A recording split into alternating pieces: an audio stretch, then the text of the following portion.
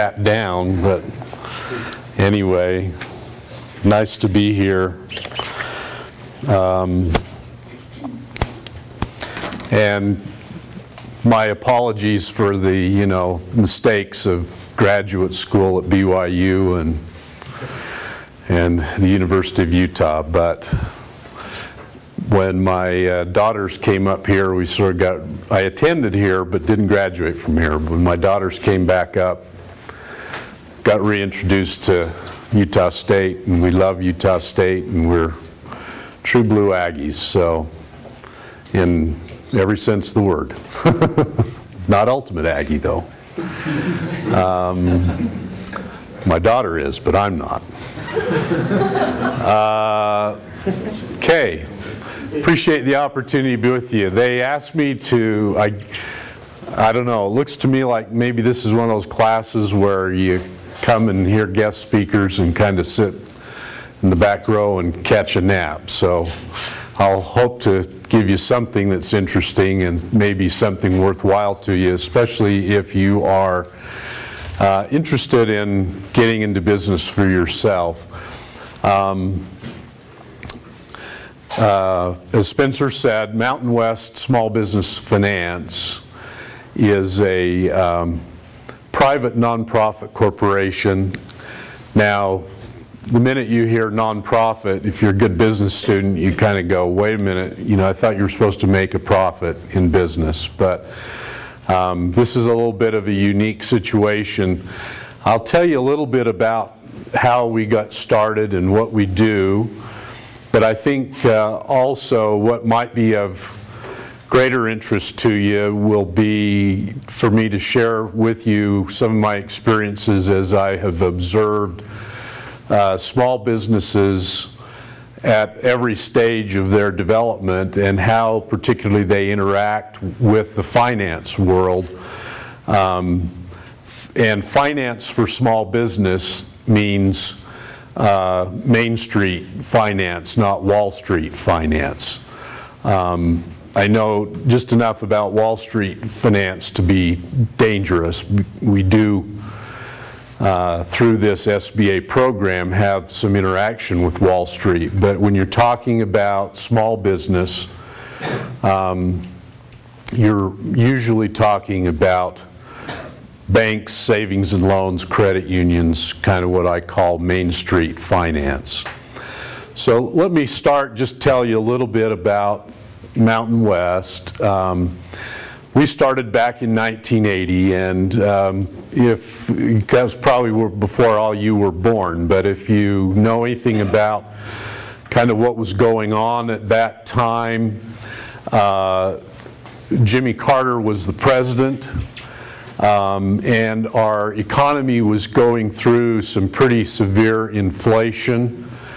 Um, something that since then the Federal Reserve has really clamped down on and, and watched. But prior to that time, they sort of, I guess, let it get away. And so um, we were dealing in those days with prime interest rates somewhere around 14%.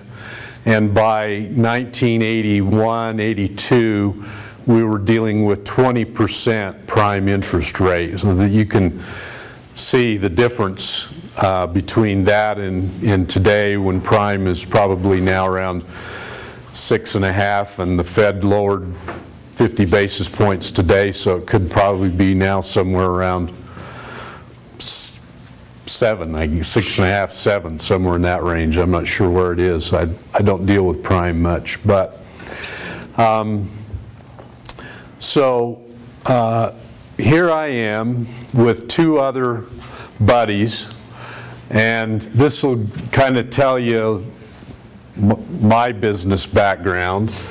I have a degree in political science and education, and so do my two buddies. And we get involved in a political campaign back in 1978 for a guy running for Congress. And, and he doesn't win, but he does good enough that he catches the eye of Scott Matheson, who was the uh, then uh, governor of the state, Democrat. I know that's hard to believe, but we actually really did have a Democrat governor one day in the past. Um, so he catches the eye of, of Matheson, and Matheson says, I think you ran a good campaign. You appear to be a pretty sharp guy. I'm going to make you the Director of Economic Development for the state of Utah. And so this guy, a Utah State graduate, by the way, takes over and, uh, and he comes to the three of us and says, Hey, I heard about this program, Small Business Administration, and uh, it's a way to get financing to small businesses at 6 or 7 percent compared to what they could borrow you know, from a bank at at 14, 15 in the in that day. So this is something that's really potentially very beneficial. Uh, the State Office of Economic Development, if you're not familiar with it, focuses a lot of activity on recruiting businesses from outside of the state to come and locate here in the state. And the big deal in those days was we're going to attract uh, American Express Traveler's Check Division to locate here. And if any of you are familiar with the west part of Salt Lake Valley and down by the Valley Fair Mall, they actually came. And there's a traveler's check processing division there that that actually was the first expansion that American Express did out of the New York City area. So that gets a lot of attention, but it you know, brings some jobs in from outside, creates some jobs for Utahns.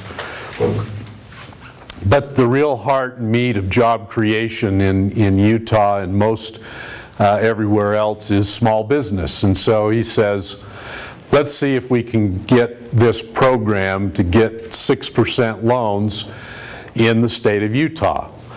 So this is the type of guy that's a big picture, big picture guy, you know, strategic thinker. And the three of us political science and former high school teachers are, are uh, sort of detail people.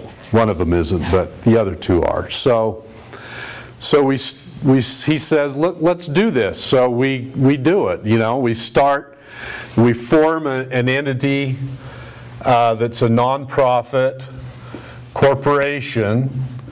And what does that mean? It really just means that there's no stockholders. Nobody owns it. It's sort of exists in and of itself. Um, it has a board of directors um, that uh, sort of watches over, kind of directs things, and it has members who really don't do anything other than say, yeah, we think it's a nice thing, and they meet once a year and elect a board of directors. And then they have staff, uh, employees. So we start this.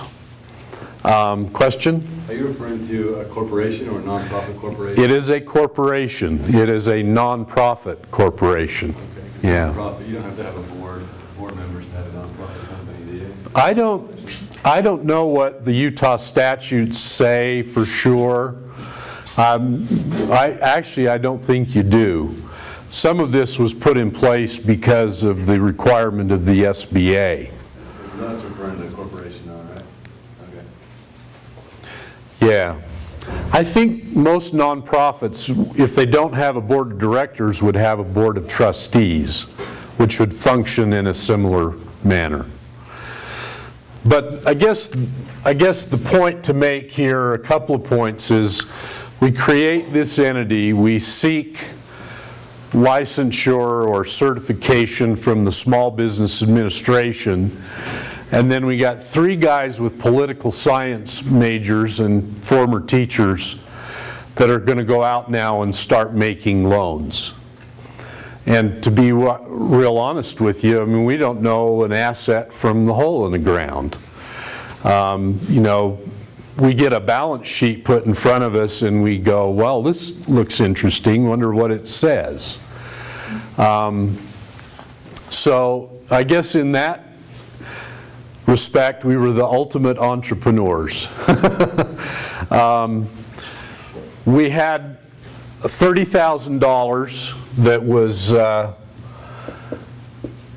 given to us by the city of Salt Lake and by the city of Bountiful. Um, They had some grant money that they'd been given that they weren't going to use, so this guy at the state convinced them to, to give us that money, and away we went. Now, our experience from this point forward is going to be very similar to what most entrepreneurs will experience, except for the fact that we didn't really know what we were doing. But if you're in political science and teaching, you learn to fake it really well. And that's basically what we had to do for a while until we could learn it on our own, figure it out on our own.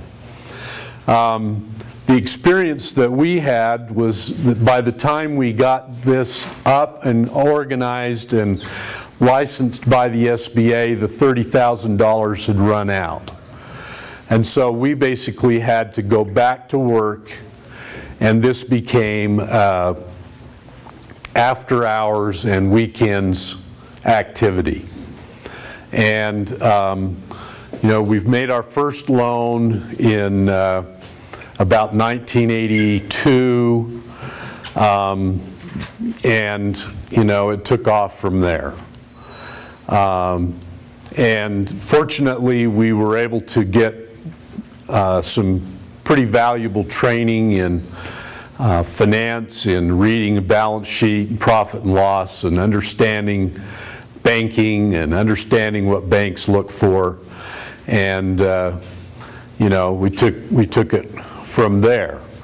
Uh, But we probably ran it out of our basement, so to speak, uh, working full-time jobs and then doing this on the side. And fortunately, we had employers that we either fooled or they didn't care, you know, if we were taking calls for this business in the middle of the day or, or something like that.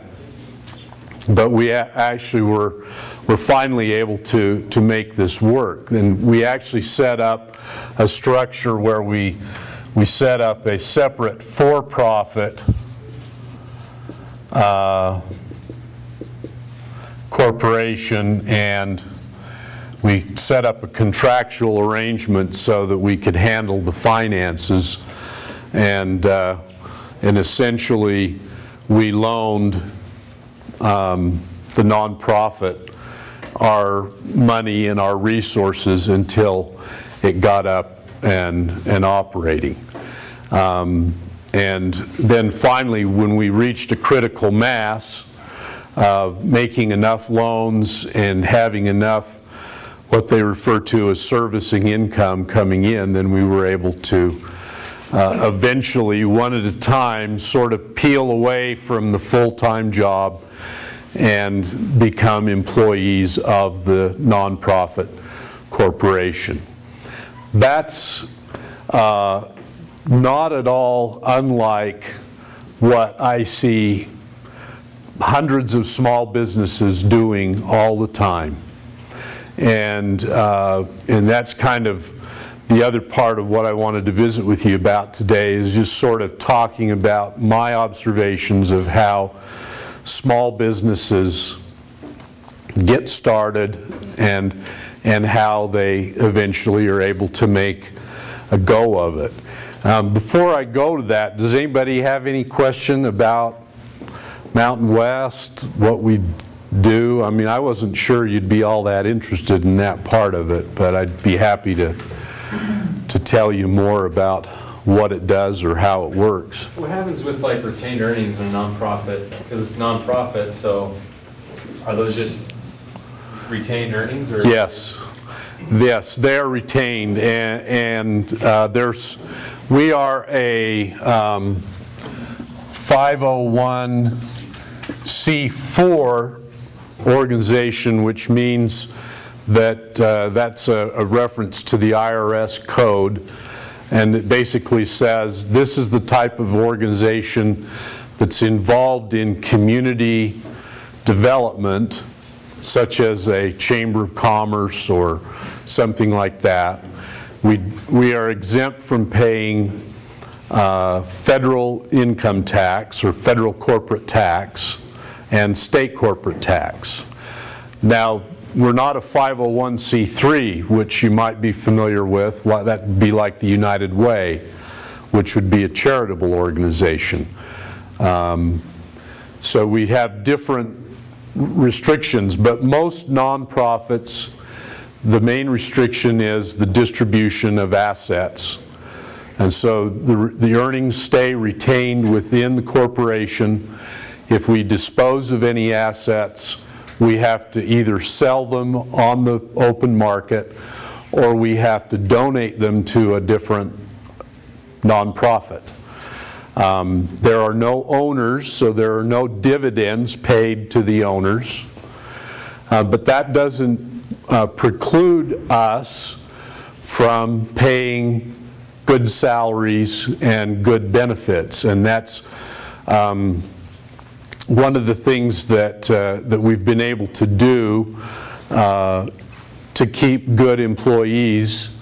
Uh, We pay an extremely generous uh, benefit package, and we pay um, probably at the upper end of the, of the range for uh, a comparable job. So a loan officer in my organization would probably make a little more money than a bank loan officer at most conservative Utah banks uh, would make. And I do that intentionally because what else am I going to do with the money? You know, it either just sits there or I pay it out and keep my employees happy, so.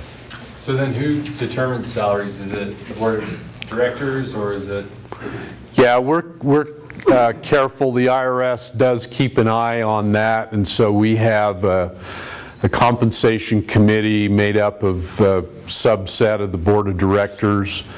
Um, We follow pretty carefully, um, you know, the, kind of the general guidelines. We, we uh, participate and are recipients of survey information about comparable salaries for comparable positions in the so-called private sector. And then we, we stay, you know, comfortably within the range, but try to stay at the upper end of that range. Um, When you get way out of whack, then you have, you know, the front page of the Wall Street Journal moments, and, and you don't want that. Uh, You know, you don't want the CEO making $600,000 and people scratching their head going, wait, I thought this was a nonprofit community service organization, so. But the, the range is wide enough that we can be comfortable and, and be happy and do well, and, and, uh, you know, I can donate money to Utah State every year, which I like to do, and which I probably wouldn't be able to do as much, uh, you know, if I was just getting paid something a little less, so. Any other questions about that? Um, The fact that you're a nonprofit organization, because I don't understand it completely, but credit unions are nonprofit, right? They are. And banks are not, Banks are for-profit. correct? So Right. Can they compete at a different level to pay more business? Can credit unions do that? Well, if you asked a banker, you'd, you know, their face would turn red and they would say, absolutely, yeah, that's, that's not fair. That- That's the, the uh, long-standing debate and argument and, and disagreement between the banks and the credit unions is that credit unions are nonprofit and they don't pay taxes. And so they're able to offer their services to their members at a, at a uh, cost that's, that's perceived by the banks to be, you know, disadvantageous to the banks, because the banks say, we can't provide that same service because we have to pay taxes. Um, So uh, my experience is, yeah, you'll really get a banker riled up if you get him into that discussion. Um, I think most bankers are supportive of the, you know, small, truly organizational or community-based credit union. There's a place for them, but wh- where they get their hackles up is, you know, Mountain America or, or America, what's the other one? America First, that are mega credit unions that really, in, in every respect, act like banks. I mean, I was at a credit union um, um, meeting uh, this summer, and, I mean, they have the whole gamut. They have the insurance services, they have the brokerage services, they have all of the same products that the banks have, and so the banks look at that and really get, get riled up about it. So with any company, do you feel that you can compete at a better level than other organizations in the same industry? Well, uh, the- that's sort of the nice thing about our entity is that is it is sort of one of a kind, if you will. I mean, there are two here in the state of Utah. It's a very specialized, very limited market. Um, it- it- We basically administer a program of a federal agency uh, through a license with that agency. And we pretty much provide one type of loan. We provide real estate financing uh, at a below-market rate to small businesses. But the way our program is structured, um, we can't make a loan without the participation of a bank or a credit union. So they don't perceive us so much as competitors as, more as partners that come in and help to enhance the credit worthiness of the, of the borrower. So it- the banks view it as a win-win kind of for them and for their borrower. So we, we're fortunate, we, we compete with each other within our own little world, but we don't so much compete with the banks, and so that's, we don't, they don't view us as a threat. Um, One thing that I, I wanted to share with you is uh, kind of what I've observed in the entrepreneurial development world that's kind of going on in our state right now. There's a really a lot of activity and a lot of interest in programs that can help develop entrepreneurs and give entrepreneurs the tools that they need to go out and, and start businesses and take their great ideas and sort of commercialize them. But there's a lot of misconceptions too when you start talking to small business people or people that are thinking about starting a business. Um, And so I wasn't sure if, if you'd seen this characterization before. If you have, I apologize, but, but they, you know, what we're seeing in the entrepreneurial world, at least in Utah and Utah government right now, is they kind of identify um, four types of businesses. Um, The first one is this kind of self-employed or micro business. Um, The next one is what they call lifestyle type business. The third one is um, growth. And the fourth one is high growth. Um, Self-employed micro would be, example of that would be just independent, uh, sole practitioner, one-person uh, operation.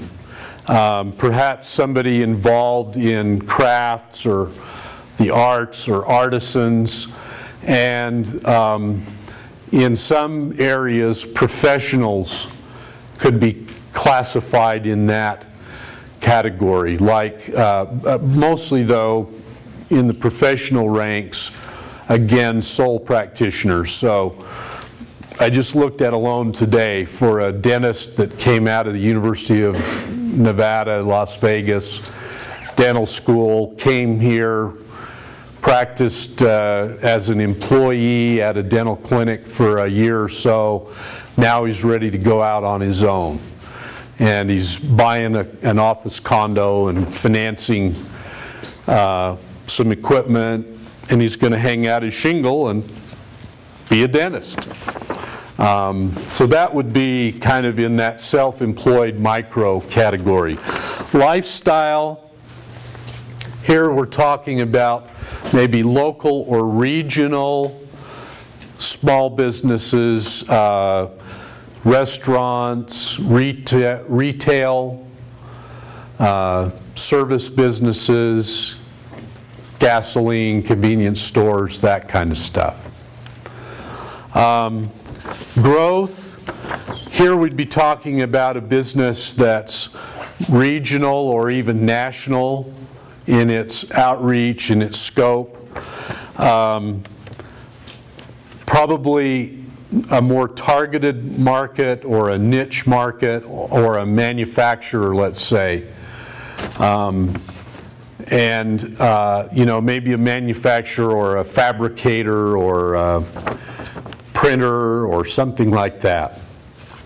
And then the high growth would be, you know, something that could potentially have a national or global market, usually something that's technology based, um, something, uh, many of these are businesses that deal with um, business process, you know, something to improve the, the business process, or not just business process, but just process and paper flow or people flow in general. And they, they oftentimes are businesses that deal with intellectual property, uh, patents and copyrights and things like that. So the, one of the things that budding entrepreneurs uh, talk about, particularly when they come looking for money, uh, is, you know, they say, well, you know, why isn't there more venture capital available for me to start my business? And kind of have to go through this explanation and show them that, you know, venture capital is really only interested in the businesses in that category. Um, maybe, you know, maybe some businesses in, in the growth category, but what, what's, the, what's the purpose of venture capital? Who gets involved in venture capital and what are they trying to accomplish with venture capital?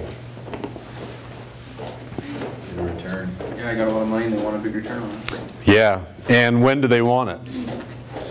Soon, yeah. Uh, Four to seven year time frame. We're talking about somebody that's got some money, they want to be able to put it in to a business at some stage of the development of that business, usually not in the early stage.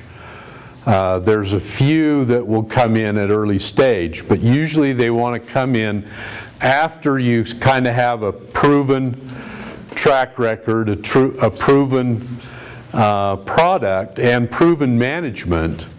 They will come in and perhaps look for ways to enhance and improve on management and improve the business process in- internally but they want to be able to put their money in and then in three to five to seven years be able to sell what they bought at, you know, a dollar a share to somebody else that's willing to pay $50 a share for, and, you know, if you want to start a restaurant, that's probably not going to happen.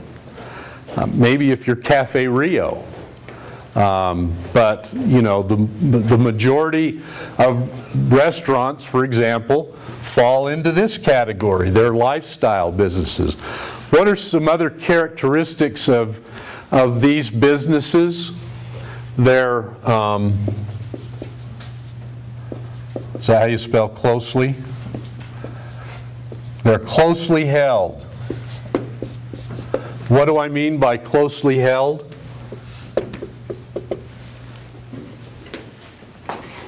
They're the babies of the, the people involved, they don't want to lose control.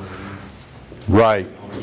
Yeah, they're typically, um, the- especially the businesses in these two categories, they're typically sole proprietorships, meaning one owner, or maybe um, a husband, wife, or sometimes as you start to move out, you know, away from this to this and this, you know, here's where you'll start to see corporations, LLCs,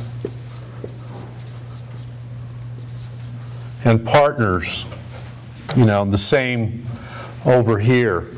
But there's a, there's a close group you know, I rarely see small businesses where I have more than five owners.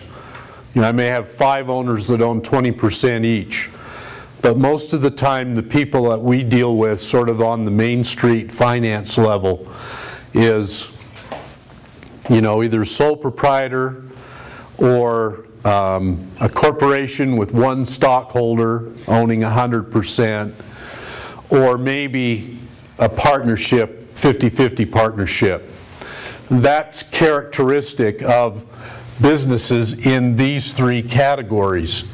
And their, their sort of, the- their attitude is very much, I started this business, this is my baby, like you said, and I'm not going to let somebody from the outside, you know, come, come and tell me what to do.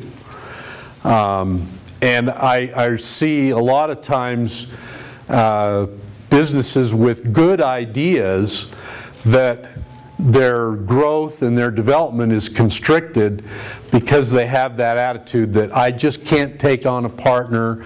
I tried that once, I couldn't get along with a partner, you know, we had different ideas and we wanted to take the business, you know, in opposite directions. And so these types of businesses, you know, stay that way. And so they're not um, compatible with the idea of venture capital. Somebody in this type of business sort of gets the big picture where they say, okay, I think I've got something here that's really going to be big. And so I'm willing to have 30 or 40 percent of something that's really big uh, and let somebody else have 60 or 70 percent of it with me uh, and, you know, have something really big and have a nice piece of that big pie than try to have it all for myself. Um, And so then, if you look at those four types of businesses, then where would you think the money would come from to start those kinds of businesses? Where would the money come from to start those types of businesses?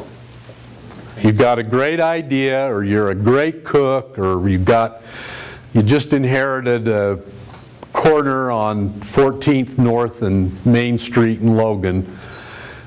Where are you going to get the money to put your convenience store there? But Isn't that like where you're talking about Main Street financing or even like personal savings or? Yeah, yeah. And, and to start with, it really is going to not be Main Street, it's, where's it going to be? It's going to be very much personal. And that would include your own personal savings. You know what that is? Home equity line of credit. Yeah. If you have a home and you have equity, you know. Um, Where else? Family. Mm-hmm.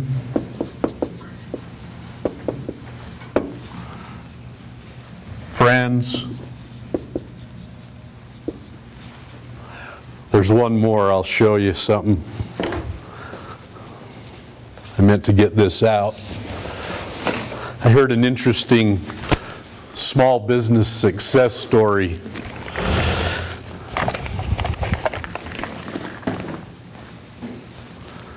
You ever seen these? I mean, these are just nail clippers, but kind of nice, fancy looking. This was made by a small business in Long Island called Tweezerman. That guy started his business with credit cards.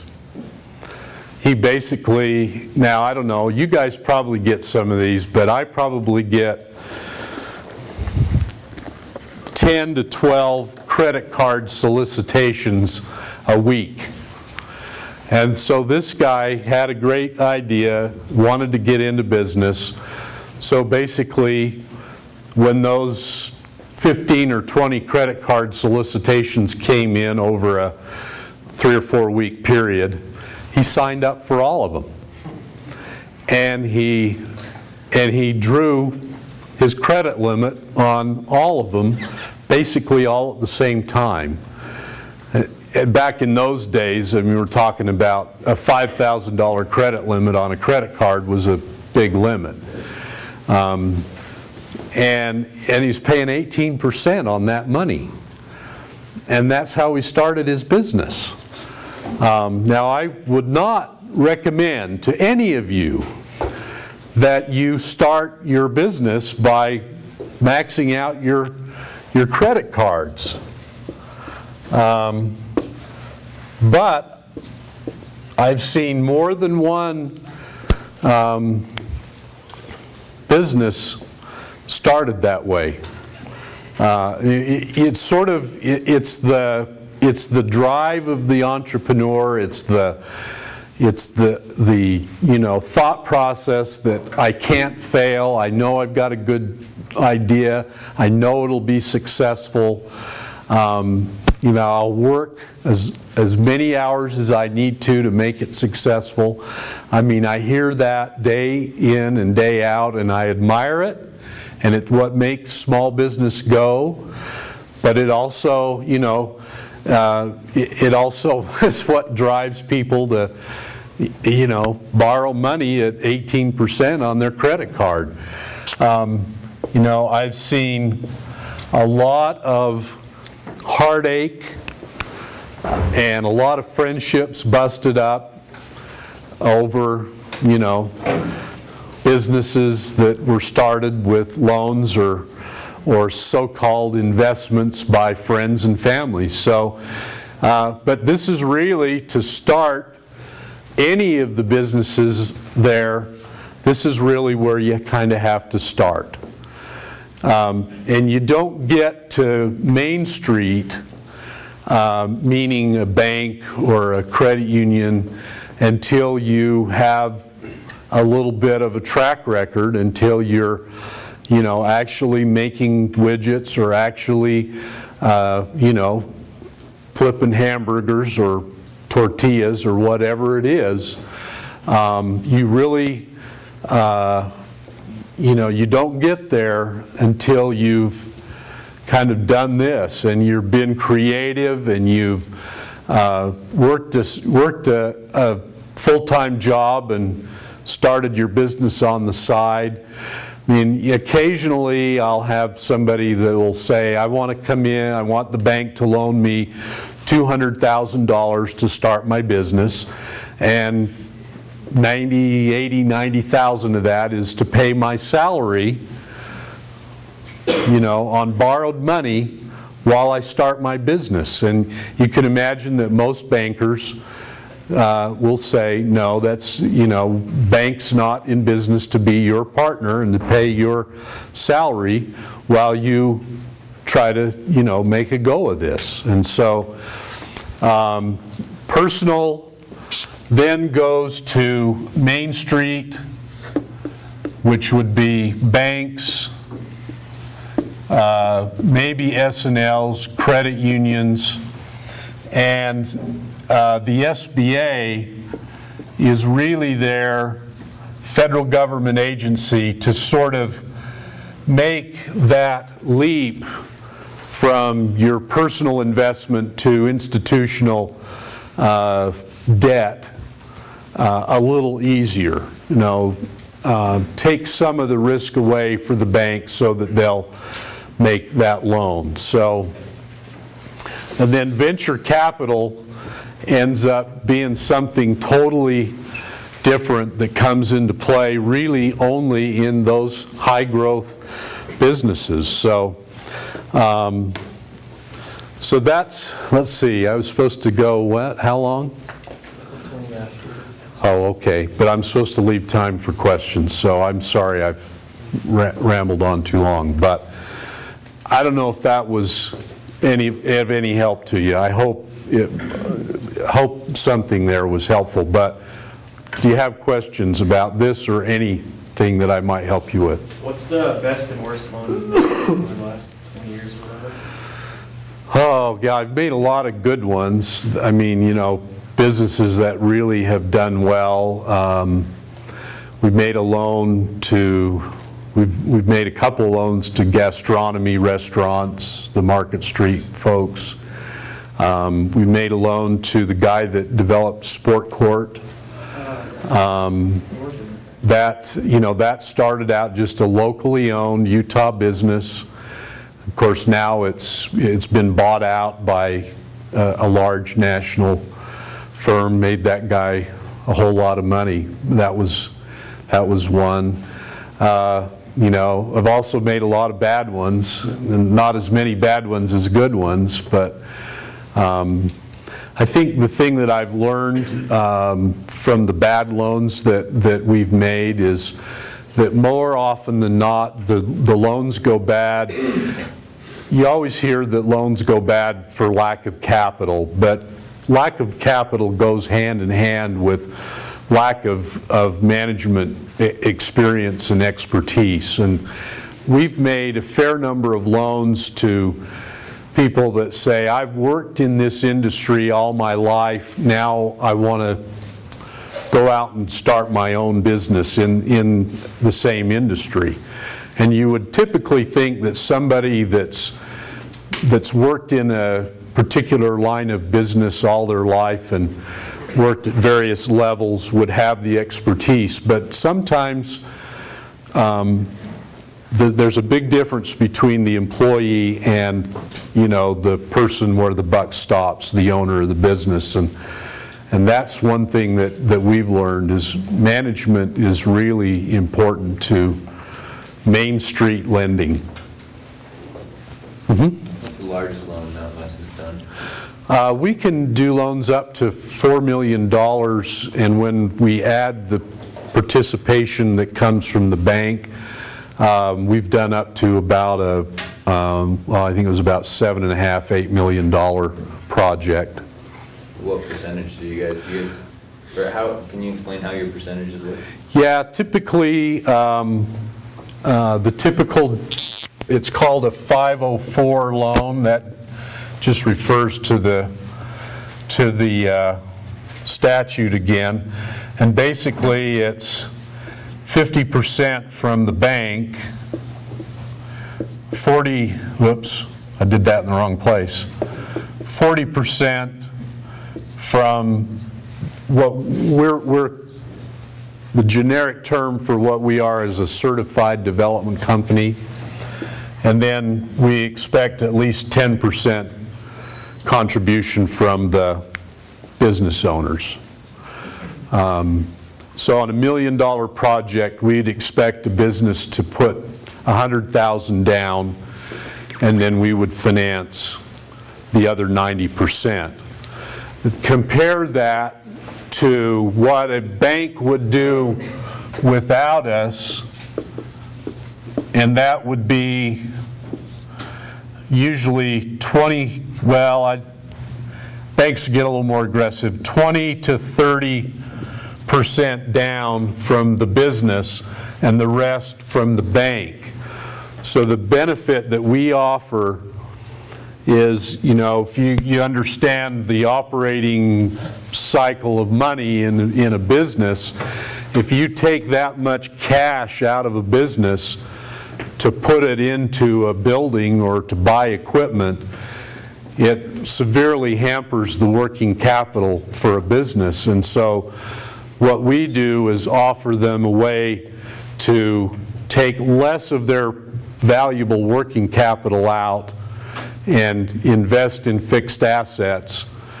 And the banks like it because our portion of this comes to the borrower at a subsidized rate, basically today's market 6% fixed for 20 years. And the banks are at the same time offering their loan probably at around seven and a half to eight, maybe closer to seven and a half now with these declines in the rates. But they won't fix the rate for more than five years. So combination of the two is able to really give a favorable deal to the business and helps the bank out too, because the bank's only in half the deal. It reduces their risk. You refinance a lot of those loans that the bank has previously done. Uh, Actually, the, I was supposed to repeat these questions, sorry. Uh, Actually, we can't refinance uh, per the rules of our program. So we're just financing new investment, um, kind of the economic development, job growth, community development component. If you're just refinancing debt that's already there, then those good public benefits don't result. So we're, we don't do refinance. You said earlier that uh, the government gave you guys thirty thousand dollars, you know, the local government there, mm-hmm. and that was spent, where did you? come- Mostly to pay my salary for six months So- and to pay the rent. We had to have a little office and, you know, stuff like that.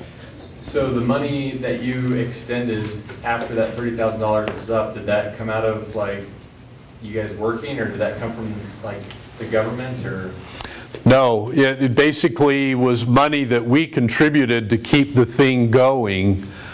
And then eventually, once it got to a point where it could pay us back, then it, then it paid us back and, and kept going from there. So in essence, we went to work in our full-time jobs and loaned our own company the money to keep going until it got to a point where it could sustain itself and pay us back. We, we loaned it at zero interest. We didn't, we didn't charge ourselves interest on it. So, we were dumb. We probably should have. Any other questions? If any of you have business ideas, I think we have a reception upstairs, and I'll stick around, and I'd be happy to, you know, have you bounce ideas off me, and thanks.